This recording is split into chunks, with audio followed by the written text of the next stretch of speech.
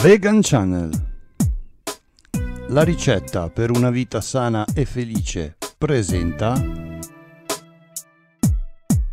polpette di riso con radicchio e funghi.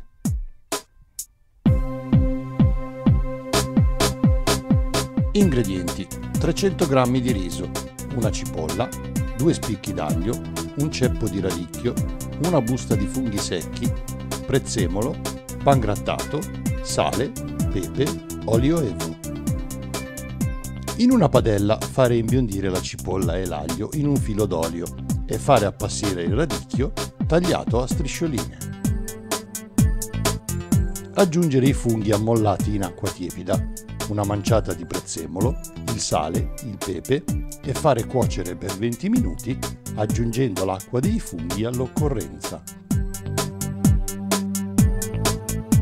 Fare bollire il riso, scolare e amalgamare con il condimento ottenuto. Formare delle polpette, passare al pan grattato e cuocerle in forno a 200 gradi fino a doratura. Sfornare, lasciare intiepidire leggermente e servire accompagnando con dell'insalata di radicchio. Questo sarà il risultato.